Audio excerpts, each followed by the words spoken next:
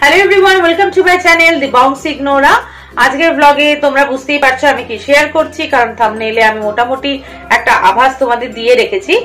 তো যাই হোক আমি তাও তোমাদেরকে বলে দিই আমার শাশুড়ি মা বাটানগর শ্রী শ্রী রামকৃষ্ণ আশ্রমের একজন ট্রাস্টি বোর্ডের মেম্বার প্লাস উনি একজন ওই আশ্রমেরই নৃত্যকর্মী।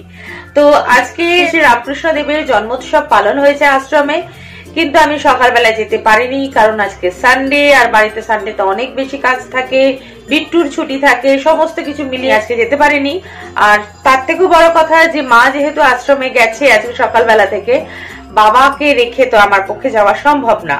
আমরা অল্টারনেটিভ বেরোয় হয়, মা বেরোয় না আমি বেরোই। তো মা গেছে যখন আমি বাড়িতে। আমি এখন যাচ্ছি, এখন সন্ধেবেলা, এখন বাজে প্রায় সাতটা। এখন আমি বেরোচ্ছি আমার মা বাবাকে নিয়ে। ইভেন মাও বাড়িতে এসছে, এসে আবার ফ্রেশ হয়ে মাও আমার সাথে যাবে এখন। তো আমি হয়তো তোমাদের উৎসবের পুরোটা শেয়ার করতে পারব না। তবে এইটুকু আমি তোমাদেরকে দেখাতে পারব যে উৎসবের দিন আশ্রমটা কত সুন্দর করে সাজে বা ঠাকুর মা, স্বামীজিকে কি সুন্দর করে সাজানো হয়, সেটুকু আমি তোমাদের সাথে শেয়ার করতে পারব।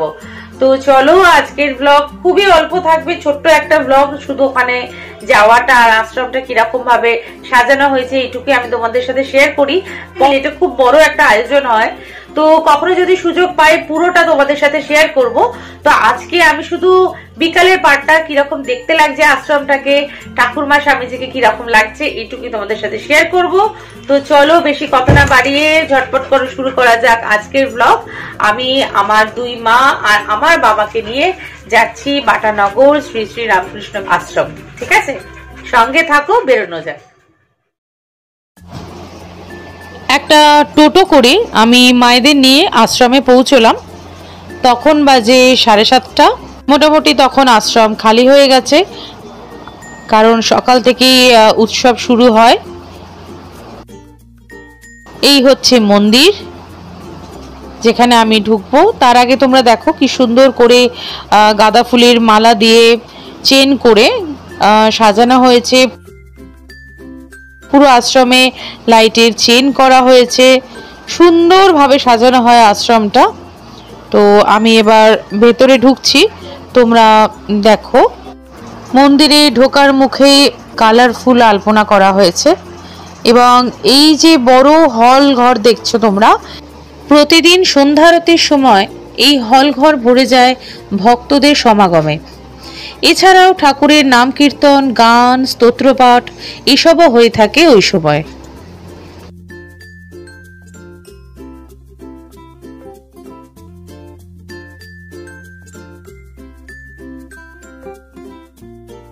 তো আমি এগিয়ে যাচ্ছি, এগিয়ে গিয়ে সোজা তোমাদের ঠাকুরের মন্দিরের ভেতরটা দেখাচ্ছি। কি অপূর্ব দেখতে লাগছে ঠাকুরমার স্বামীজিকে। আমি তোমাদের জুম করেও দেখাচ্ছি, তাহলে তোমরা আরও ভালো দেখতে পাবে। নতুন ধুতি পরানো হয়েছে ঠাকুরকে, স্বামীজিকে, আর মাকে নতুন শাড়ি পরানো হয়েছে। যে কোনো উৎসব যে কোনো শুভ দিনে মাকে, ঠাকুরকে, স্বামীজিকে নতুন জামা কাপড় পরানো হয়। ঠিক বাইরেটাতেই আছে শ্রী শ্রী রামকৃষ্ণ দেব, সারদা মা এবং স্বামীজির বিশাল একটা ছবি। এবং সেই ছবিতেও লম্বা করে মালা দেওয়া হয়েছে। যেহেতু এখন আশ্রম পুরো খালি হয়ে গেছে, সেই জন্য আমি খুব ফাঁকা ফাঁকায় পুরো ব্যাপারটা তোমাদের সাথে শেয়ার করতে পারছি। এখানে আমার মা বাবা, আমার শাশুড়ি সবাই প্রসাদ পেয়েছে এবং সেটা নিয়েই আবার মন্দিরে দর্শন করতে এসছে।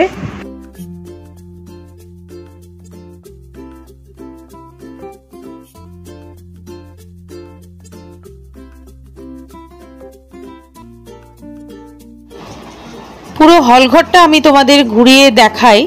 ভক্তদের ভিড়ে সকালবেলাটা এই পুরো হলঘরটা ভর্তি হয়ে যায়। তখন আর বসার জায়গা থাকে না, অনেকে সিঁড়িতে দাঁড়িয়ে থাকে। যখন অনুষ্ঠান হয় তখনও তাই। এবছর তো কোভিড সিচুয়েশনের জন্য উৎসব খুব ছোট করে করা হয়েছে একদিন ব্যাপী করা হয়েছে। না হলে এই উৎসব দিন দিন ধরে আমাদের চলে। মন্দিরের ঠিক পাশেই একটা জায়গায় এখানে সবাই প্রসাদ বিতরণ করছে এবং যারা প্রসাদ বিতরণ করছে, এরা কিন্তু সবাই আশ্রম স্কুলের এক্স স্টুডেন্ট এই আশ্রমের ঠিক গায়েই আছে রামকৃষ্ণ আশ্রম স্কুল এবং ছাত্রাবাসও আছে মানে হোস্টেলও আছে। অনেকে ছোটবেলা থেকেই হোস্টেলে থাকে এবং সেখান থেকেই বড় হয়ে পড়াশোনা করে হায়ার স্টাডিজের জন্য বেরিয়ে যায়। এখানে সবাই যাদেরকে তোমরা দেখছ, এখানে সবাই মোটামুটি নিত্যকর্মী। মা আমাকে সবার সাথে আলাপ করিয়ে দিচ্ছে। আমি এদের মধ্যে কয়েকজনকে চিনি, যেরকম কমলা রঙের পাঞ্জাবি পরা আমি ওনাকে চিনি, ওটা হচ্ছে মহাদেবদা আর আমি এনাকে চিনি রেড শার্ট পরা, ইনি হচ্ছেন আয়ুর্বেদিক ডাক্তারবাবু। আমার বাবা মাও এই বাটানগর শ্রী রামকৃষ্ণ আশ্রম থেকেই দীক্ষিত।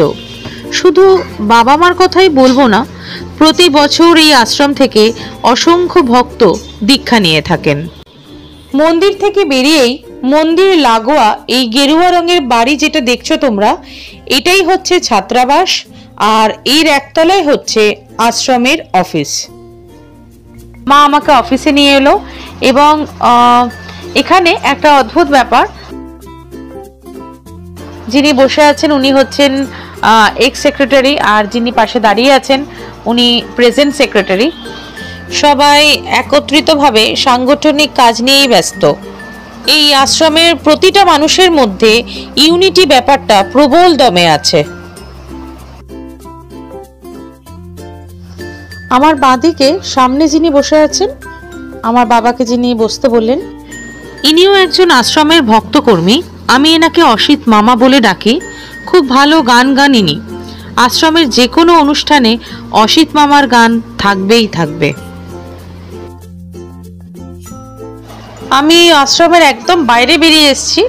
পুরো রাস্তায় চলে এসেছি যাতে পুরো আশ্রমটা তোমাদেরকে দেখাতে পারি।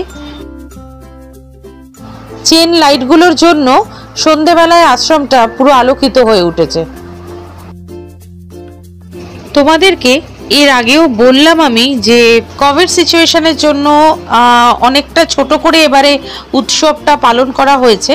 না হলে এই চারিদিকে পুরো প্যান্ডেল হয় বুক স্টল বসে, আঁকা, আবৃত্তি, গান, এগুলোর প্রতিযোগিতা হয় এবং সব মিলিয়ে পুরো উৎসবটা তিন দিন ব্যাপী হয়। এই আর কি আমরা বেরিয়ে যাচ্ছি। আজকে তোমাদের দেখালাম, আমি বিকালবেলাটা এসেছিলাম বলে যে আশ্রমের উৎসবের মন্দিরটা তোমাদের শুধু দেখালাম। পরের বার যখন আসব তখন তোমাদেরকে বড় করে দেখাবো যে পুরো উৎসবে সকালের দিকটা, আশ্রমটা কিরমভাবে মেতে থাকে। এটা আমি নেক্সট পার্টে মানে নেক্সট কোনো প্রোগ্রাম হলে আশ্রমে সেটা তোমাদের সাথে শেয়ার করব। বিকালে এসে শুধু মন্দিরটুকুই তোমাদের দেখালাম, ঠাকুরমাকে কীভাবে সাজানো হয়েছে ওইটুকু তোমাদের দেখালাম। এবার আমরা ফিরছি বাড়িতে। বাপি কয়েকটা জিনিস কিনবে বাড়িরই কয়েকটা জিনিস কিনে নিয়ে তারপরে সোজা বাড়ি। আজকে এদিকে একটু ঝড় হয়েছে বৃষ্টি হয়নি একটু ঝোড়ো হাওয়া টাইপের দিয়েছে। তো এই তাও আমরা ছাতা ছাতা কোথায় বাপি? ছাতা? ছাতা ও হ্যাঁ শুধু হাওয়া দিল বলে আর আমরা ছাতা নিলাম না। এই এবার অটো ধরবো তো? হ্যাঁ। অটো করে চলে যাব বাড়ি। ঠিক আছে? সঙ্গে থাকো, বাড়ি গিয়ে তোমাদের সাথে দেখা হচ্ছে। তো ব্যাস, এসে গেছি আমরা বাড়ি। আজকে বিকালে বেশ ঘোরাঘুরি হলো। আর যেহেতু ওয়েদারটাও ভালো ছিল, কারোর কোনো অসুবিধা হয়নি। দুই মাকে নিয়ে, বাপিকে নিয়ে আমি এক রাউন্ড দিয়ে এলাম। আর এইটুকুই ছিল আজকের ব্লগে যদি ভালো লাগে প্লিজ ভিডিওটা একটা লাইক করো কমেন্ট করো শেয়ার করো। আর আমার চ্যানেল দি বং সিগনোরাকে সাবস্ক্রাইব করে পাশের বেল আইকনটা প্রেস করে অল নোটিফিকেশনটা ক্লিক করে দিও। তাহলে আমি যখনই কোনো নতুন ভিডিও আপলোড করব, তোমাদের কাছে নোটিফিকেশন সবার আগে পৌঁছে যাবে, ঠিক আছে? দেখা হবে নেক্সট ভিডিওতে নতুন কিছু নিয়ে। টিল দেন সবাই ভালো থেকো হ্যাপি থেকো। Tata and